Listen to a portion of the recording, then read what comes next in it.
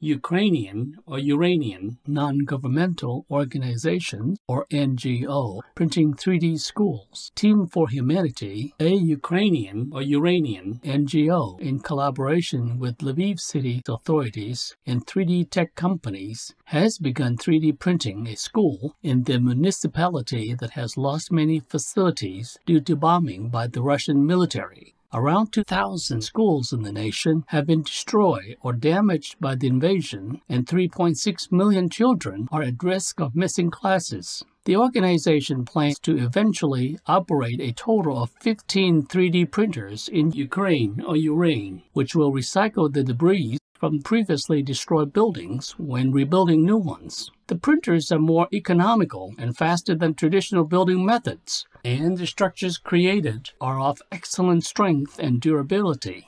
Way to go, Team for Humanity and others, on your intelligent use of technology to quickly rebuild Ukraine or Ureign in the blessings of heaven. May the war end soon and the reconstruction process be completed in good time as peace is restored in the nation.